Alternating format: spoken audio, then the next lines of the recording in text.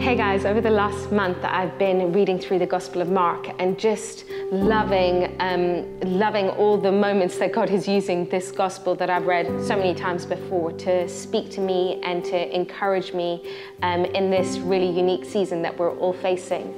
And um, I find myself getting stuck on uh, different verses as he speaks to me, his encouragement for the day. And I wanted to share with you something that has been living with me over the last few days.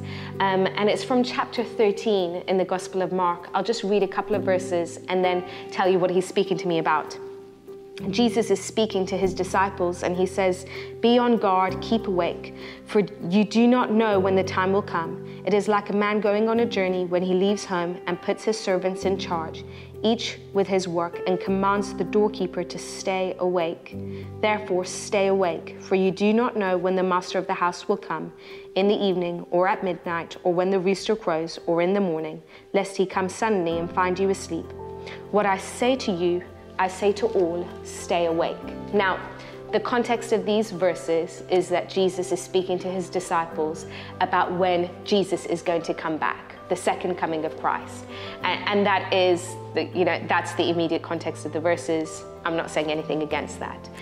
Having said that, God often uses verses of scripture where Holy Spirit pounces on those verses and speaks to us uniquely in our circumstance uh, in a way that's slightly out of context from those verses. And for me, in this season, God's been speaking to me about staying awake. And um, I to, won't go into all the thoughts about uh, why I think Corona is happening and uh, whether it's from God or not. It's not from God, but anyway, oh, I won't go into that conversation right now. But what I do think that God is amazing at doing is using um, moments where the enemy has a very clear intention. Uh, God is good at using those moments, flipping them around and speaking to his body and mobilizing them for a very unique purpose. And I believe he's doing that in this day and age.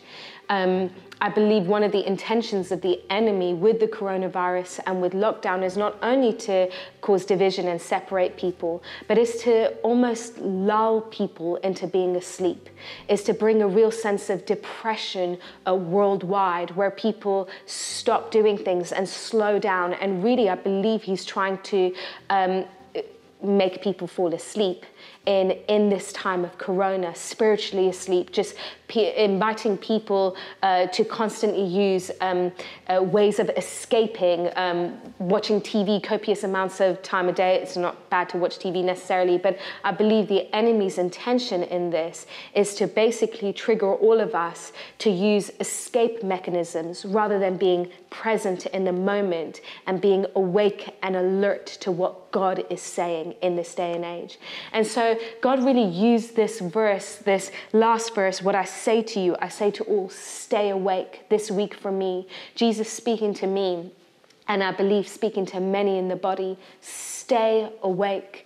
The intention of the enemy might be to make us less present, might be to just lull us all into some sense of not really being aware and alert to what's going on. But the intention of God in this moment is so much greater than that.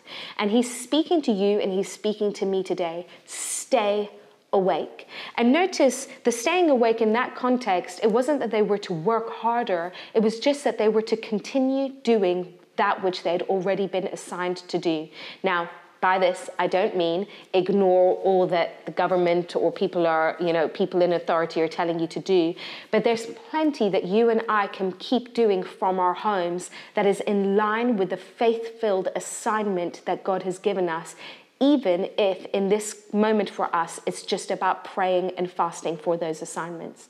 So I want to say to you keep going, keep being alert, keep making sure that you are awake in this moment. Uh, brothers and sisters in Christ, this is not a moment for us to get sleepy and for us to drop the ball and for us to engage with the narrative of the enemy, which is basically ride this out. Don't do anything, just bide your time. Wait, just set up your safe bunkers at home and just sleep your way through this. For whatever else this is worth, don't sleep your way through this. God has an agenda and an intention, even with the disastrous setting that the enemy has um, brought about in this virus. And He's saying to you and me today stay awake, keep going with your assignment, pray about your assignment, sow deep seeds of faith into your assignment.